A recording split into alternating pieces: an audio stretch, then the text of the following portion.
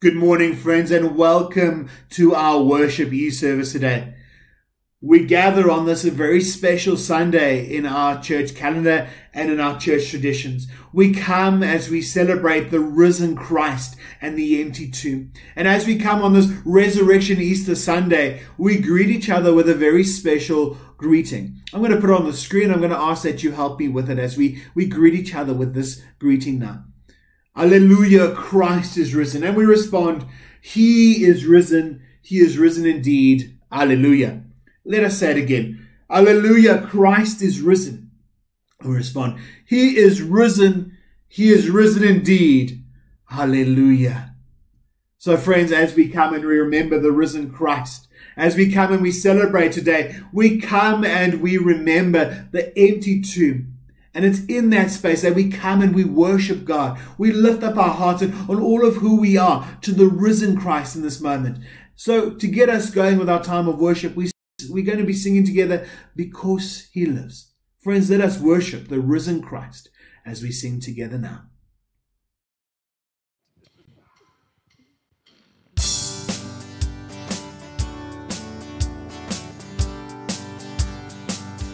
Because he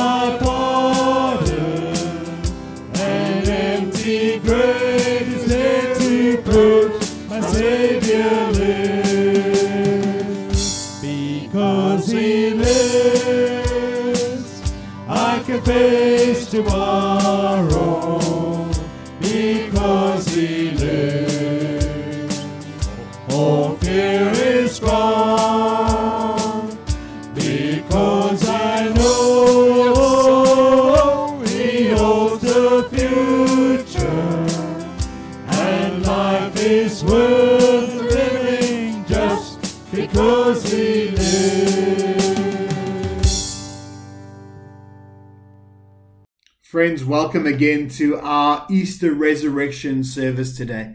As we gather in this moment, we, we gather as the children of God as we celebrate the risen Christ. Welcome. Friends, if you're new and you're not quite sure who I am, my name is Raymond. I'm a Methodist minister serving in the Mogale Circuit of the Methodist Church of Southern Africa. And I want to welcome you to our service as we gather in this space as brothers and sisters in Christ. And I want to invite you to participate in our service as you feel comfortable. Welcome. Friends, as we join together in this moment of worship, we come and we remember the risen Christ, the one who is with us in this moment and time.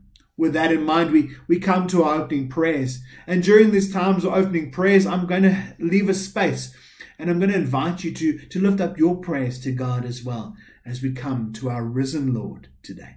Let us pray.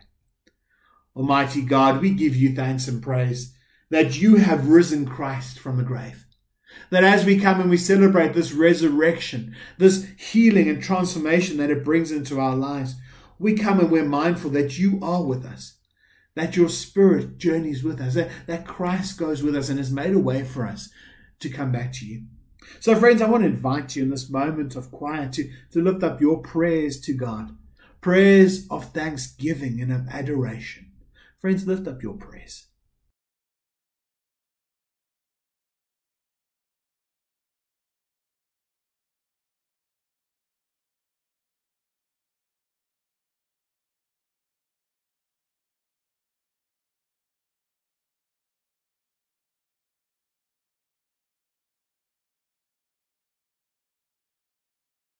Father, you are worthy of all praise. Christ, you have come and brought us back into a relationship with Christ, with Almighty God. And we thank you that you have made a way. It's with that in mind that we, we come and we lift up to you our prayers of confession of sin as well. For we know that, that we have journeyed through this life and this world, and there are things that we have said, things we have done that have broken community with you and with others. We know that you've paid the price and that we can find forgiveness as we ask. So, mighty God, we come with these our prayers. Friends, I want to invite you in the moment of quiet to lift up your prayers of confession of sin to God.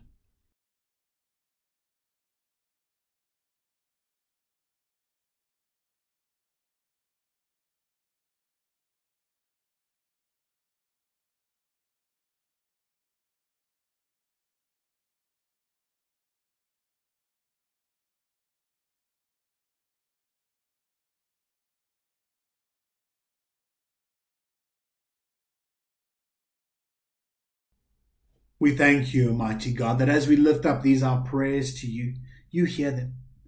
That we hear in return the, the words of grace, your sins are forgiven, go and sin no more. And we receive those words, Almighty God, because we know that you have made a way through Jesus Christ, the one who has overcome our sin and death, for us to come back into relationship with you.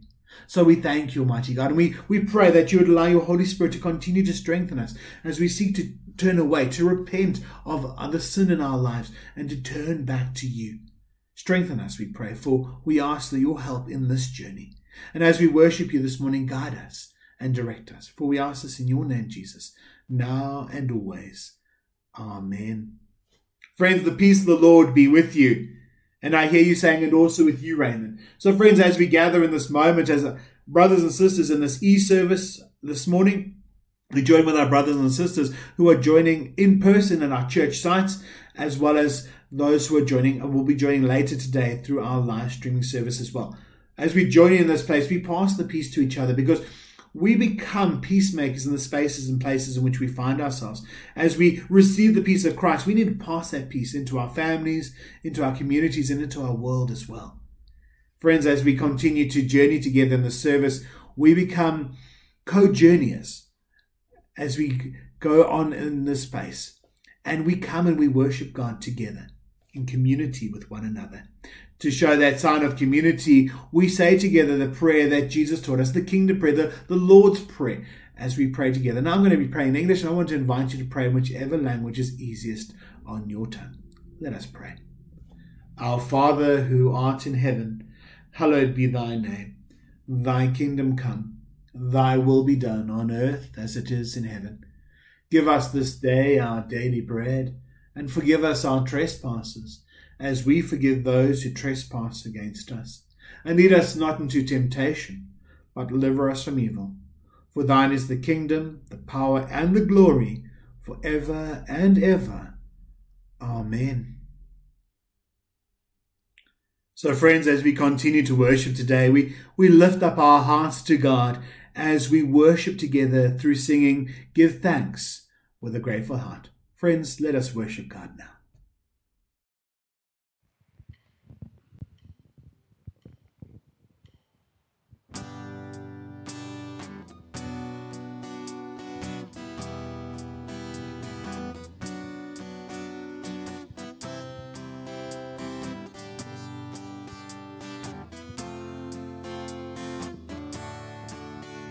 Give thanks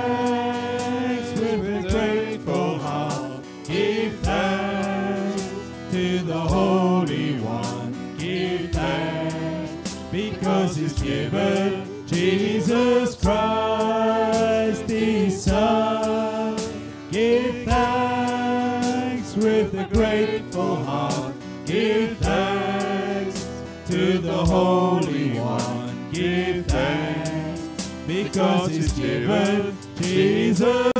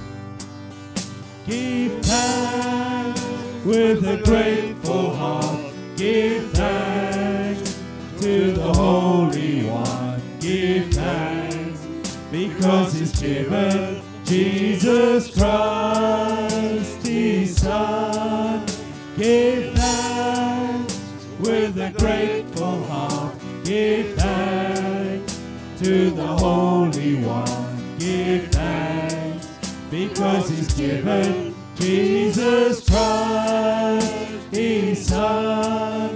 And now let the weak say, I am strong. Let the poor say, I am rich because of what the Lord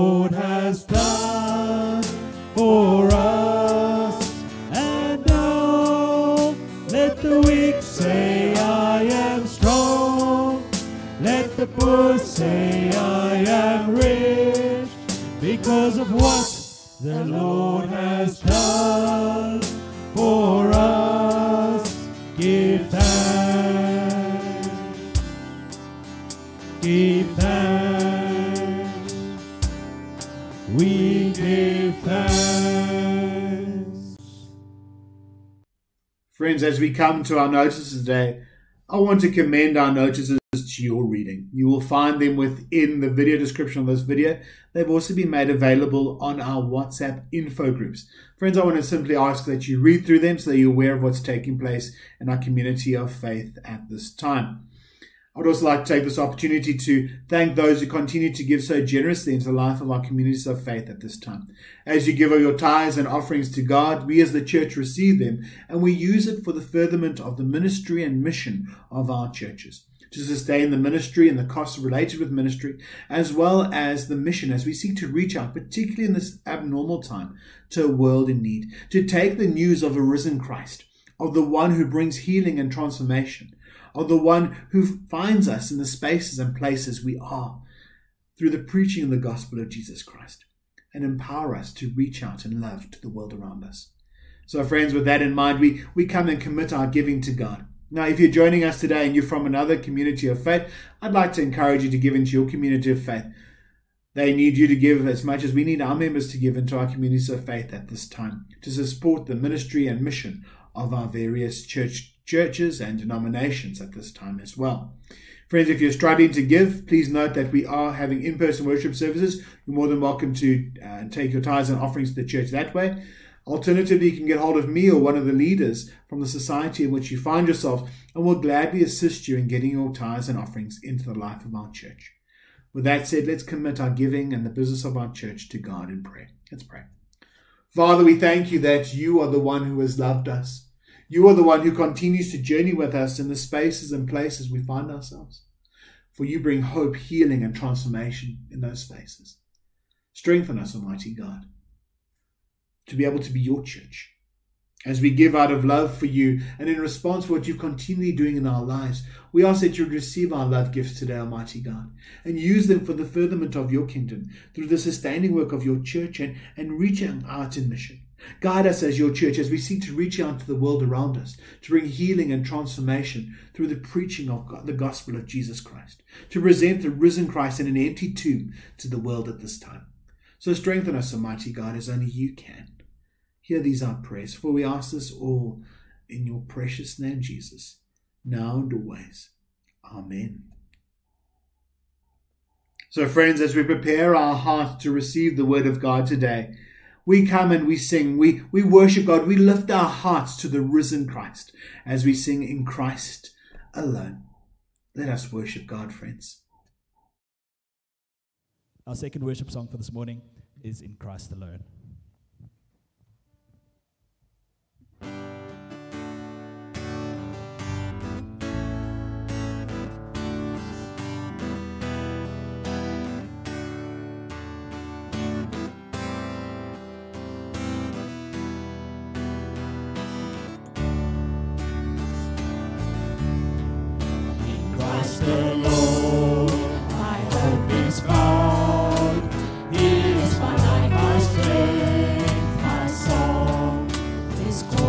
snow.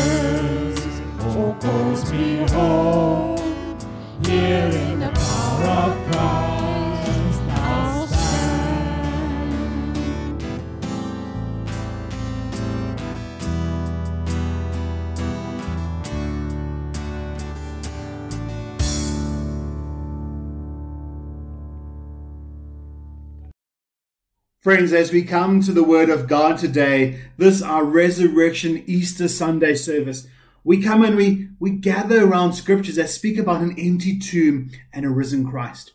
Our gospel reading today is from the Gospel of John, and I'm going to be reading from John 20, verses 1 to 18. If you have a Bible nearby, I'd like to encourage you to, to open your Bible and to follow with me as we go through John 20, verses 1 to 18.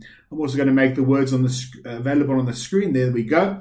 Friends, our, our reading today is from the contemporary English version of the Holy Bible, and it reads as follows from John 20, verses 1 to 18. On Sunday morning, while it was still dark, Mary Magdalene went to the tomb and saw that the stone had been rolled away from the entrance. She ran to Simon Peter and to Jesus' favorite disciple and said, They've taken the Lord from the tomb. We don't know where they have put him. Peter and the other disciple started for the tomb. They ran side by side until the other disciple ran faster than Peter and got there first. He bent over and saw the strips of linen cloth lying inside the tomb, but he did not go in. When Simon Peter got there, he went into the tomb and saw the strips of cloth. He also saw the piece of cloth that had been used to cover Jesus' face. It was rolled up and in a place by itself. The disciple who got there first then went into the tomb, and when he saw it, he believed. At that time, Peter and the other disciple did not know that the scriptures said Jesus would rise to life. So the two of them went back to the other disciples. Mary Magdalene stood crying outside the tomb. She was still weeping when she stooped down and saw two angels inside. They were dressed in white and were sitting where Jesus' body has been. One was at the head, and the other was at the foot. The angels asked Mary, Why are you crying? She answered, They have taken away my Lord's body. I don't know where they have put him. As soon as Mary said this, she turned around and saw Jesus standing there, but she did not know who he was. Jesus asked her, Why are you crying? Who are you looking for? She thought he was the gardener and said, Sir, if you've taken his body away, please tell me so I can go and get him. Then Jesus said to her, Mary. She turned and said to him, Rabboni. The Aramaic word Rabboni means teacher. Jesus told her, Do not hold on to me. I have not yet gone to the Father. But tell my disciples that I am going to the one who is my Father and my God, as well as your Father and your God. Mary Magdalene then went and told the disciples that she had seen the Lord. She also told them what he had said to her. Friends, this is the word of God for the people of God. Thanks be to God. Amen. Let us pray. Almighty God, as we come to your holy scriptures today, on this very special day in which we encounter your resurrection and an empty tomb. As we come on this Resurrection Sunday, Almighty God, we, we ask that you'd open our eyes and our hearts to receive from you what it is you're wanting to say to us. Speak into our hearts and our lives, Almighty God. Guide and direct us, we pray. May the words of my mouth and meditation of each and every one of our hearts be pleasing to you, our rock and our Redeemer, Jesus Christ, now and always. Amen. Friends, over the past week, we've journeyed with Jesus. We encountered Jesus last Sunday at Palm Sunday, and we've journeyed through those Hosanna cries of the royal procession into Jerusalem. We said, Hosanna, Hosanna, Hosanna, blessed is he who comes in the name of the Lord.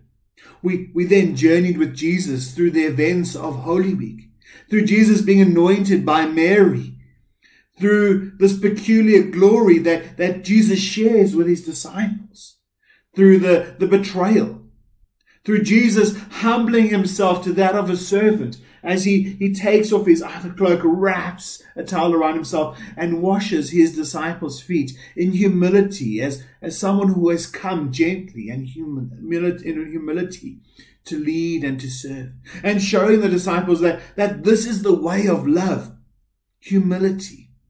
And by that love, they will know you are my disciples. Through Jesus sharing the, the Passover meal with his friends in that moment we then journeyed through the, the journey towards the arrest and the trials. Friends, on Good Friday, we remembered the, the moments that led to the cross and on the cross as we, we journeyed the Via Dolorosa. And as we came in that moment, we, we encountered what the meaning of Good Friday is truly about, as Jesus is the one who makes it good.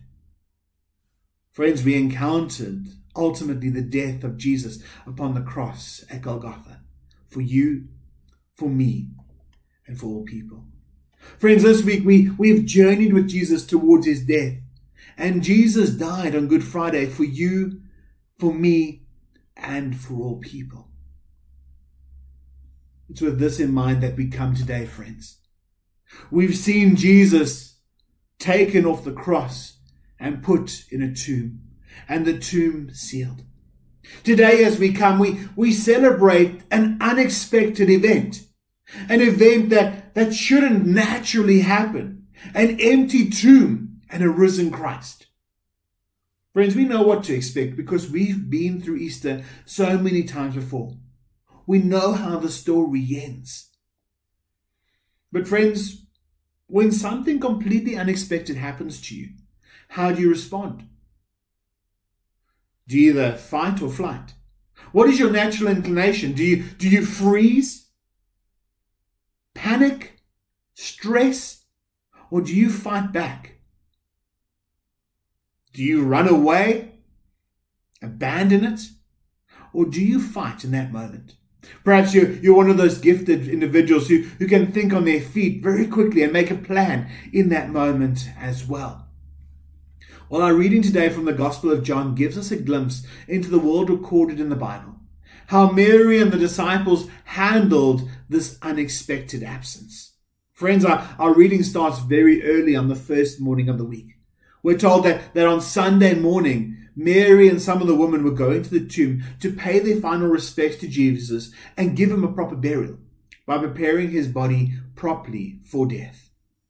As Mary and the woman approached the tomb, coming to it with an expectation of finding the lifeless body of Jesus in a sealed tomb, perhaps in their minds thinking, how are we going to move that stone out of the entrance? Perhaps grieving the loss and remembering their memories of Jesus in the year of years of ministry that they have followed Jesus.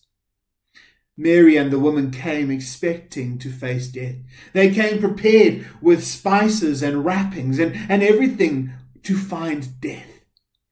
Friends, as they approached the tomb, they found that, that something unexpected had happened, that the stone had been rolled away and that the tomb was open. As they took a look, they see that Jesus' body is missing. It's gone. So Mary responds to this unexpected find by running to tell the disciples. She tells Peter and John, and they in turn turn and run back to the tomb. They come and find it just as Mary had said, empty. Jesus' body is gone, and all that is left in that space are strips of linen and the burial cloth that had been Jesus, over Jesus' face. Friends, Peter and John come expecting to face death, to encounter the dead body of Jesus. But they find an unexpected absence. And as Peter responds, he, he runs into the tomb to check it out, to see for himself the empty tomb. Our reading tells us that he ran straight into it, perhaps doing some sort of MacGyver move and, and ducking into the, into the tomb as he went in. We're told that the other disciple that had got there first, John, doesn't immediately go inside, but takes time. Perhaps preparing himself for, for what he will find. To, to encounter the death of Jesus yet again and be reminded of Jesus' death in that moment in time. It's after this preparing himself to encounter death that, that he goes inside and finds the empty tomb. The, the strips of grave clothes there with the cloth that was over Jesus' face rolled up and put one side. Friends, as both disciples have a look, perhaps spend time lingering there, they leave despondent. Perhaps they assume, and quite rightly so, that the final indignity had happened. Somebody had stolen Jesus' dead body. As they all encounter an unexpected absence on that first morning of Easter, Mary and the woman and and the disciples who went to take a look. Friends, perhaps there are times in our lives when we feel or find an unexpected absence in our lives. Perhaps as we celebrate Easter today, we have a loved one who is missing. A loved one who perhaps has passed away over the past year, maybe due to COVID 19 or, or other causes. Maybe someone who has immigrated to another country. Perhaps the loneliness of, of national lockdown that has, has been with us for over a year now. And the many things that we have lost over this past year. Perhaps people are still self isolating out of fear of COVID 19 and then the third wave and the, and the various variants of the COVID 19 pandemic. Perhaps we, we have an unexpected absence in our lives of our hope that we had. And we found hopelessness has crept in loss of a hope of a future, loss of economic opportunities, of employment, of a, of a failed company and a business. Friends, the list can go on of those things that we, we find that are missing and that unexpected absence in our lives at this moment in time. Friends, where in your life have you an unexpected absence? Something that, that isn't as it should be because something is missing. Just spend a moment thinking about that. What's missing? Perhaps even when it comes to God, God may seem missing to you in this moment in which you find yourselves. But our reading doesn't end there. In verse 11, we, we are told that Mary continues to linger at the tomb, crying. Perhaps out of, out of a deep grief at the loss of Jesus, and now this unexpected turn of events, digging out those, those emotions and just re entrenching them in her heart regarding Jesus and his dead body.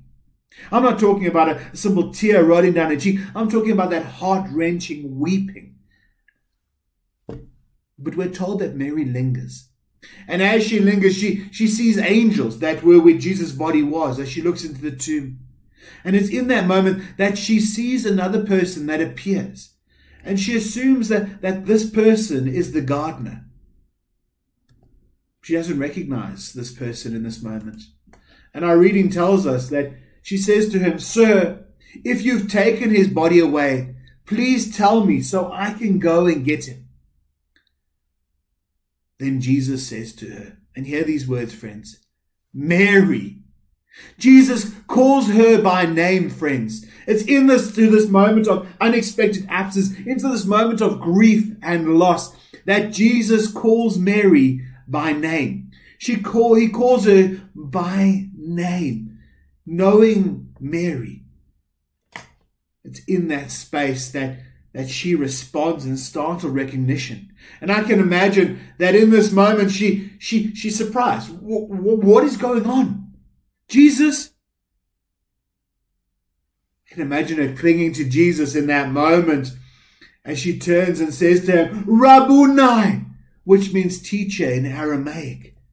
It's in that space, friends, that we, we come, like Mary, to encounter afresh the Christ. Friends, we, we know that the story with God does not end on Friday at the cross, as many expected. Jesus dead and buried. We come today and we celebrate the risen Christ who shows up. I want to say it again, friends. We come and we celebrate the risen Christ who shows transforming our painful sense of absence by his presence. The steadfast love of, the God, of God refuses to leave us. God is with us. That resurrection presence is with us, bringing transformation into our lives, our situations, our moments, as God calls us by name. As Christ calls out to us by name, Raymond, or, or whatever your name is in this moment. Because God's steadfast love refuses to leave us. Friends, just as, as Jesus found Mary crying at the empty tomb, and he asked her, Woman, why are you crying? We don't have to go looking for Jesus. Jesus is looking for us. We don't have to go search to find him as he did with Mary. He finds us and he knows us by name, just as he knew Mary by name in that moment in time. He knows our situations and our circumstances at this time better than we do. The scriptures tell us that he knows the number of hair upon our heads, friends. That's how intimately God knows us perhaps even the intricacies of our situation beyond what we know. Christ shows. So, friends, as I close today, I want to ask you what is your great hope in life? In death? In, in life beyond death? Is it that the same Savior, the, the risen Christ who showed up to Mary, will show up in our living? In every moment of our living and in our dying? that He'll keep showing up, often when we least expect it. So, friends, as we come to this Easter, we remember the risen Christ, the unexpected absence, and we celebrate an empty tomb and a risen Christ. But let us always remember that our risen Christ often works in unexpected ways. Like Mary, who, who didn't at first recognize Jesus, So too, we may not recognize at first what Jesus is doing until Jesus calls out to us in that space. Jesus shows up when we least expect him to. So, friends, he has risen. He has risen indeed. Happy Easter. Christ is not only risen, he is risen indeed because Christ showed up. Friends, I'd like to invite you today and in the week that, that, that leads from today, as we enter into a 50 day season of Easter. I want to invite you today and in the week that lies ahead just to spend a moment reflecting on these words Christ is not risen, he's risen indeed. What does it mean for us in our lives to embrace an unexpected absence? In other words, what is missing? What painful moments do we need to bring the resurrection life, the, the restoring life of Christ that brings transformation and healing into our lives, into our families, into our communities, and into our world? And then lift those up to God in prayer. Because it's in that moment that the, Jesus works in unexpected ways, showing him up when we least expect him to in those moments and situations. Because Christ always shows up. Let us pray. Almighty and ever loving God, as we celebrate an empty tomb, that death is defeated, that sin is overcome, that we can encounter you afresh, O Christ. Receive you and your, your resurrection power, your transforming life with us in this moment afresh. We come and we say thank you that you are with us that you continue to bring healing and transformation into the areas of our unexpected absences. Those things that are missing are strange and unconcerning in our lives. So, Father, we come to you we ask more of you now as we celebrate the risen Christ, as we embrace you afresh as our Lord and our Savior, the one who has overcome sin and death and risen again. We come and we say, Thank you, thank you, thank you. Father, help us to hear what we need to hear from the sermon today. Guide us in all that we need to do to put into practice in our lives as we seek to grow closer to you and allow your transforming and healing power into our lives. For we ask this in Jesus' name, now and always. Amen.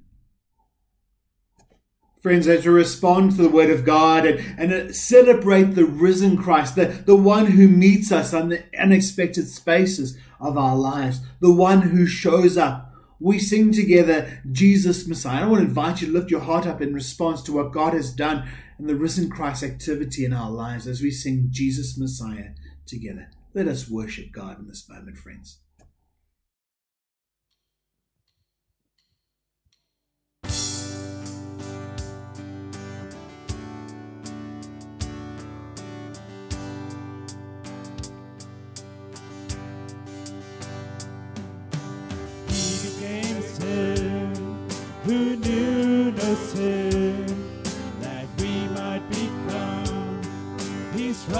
Righteousness.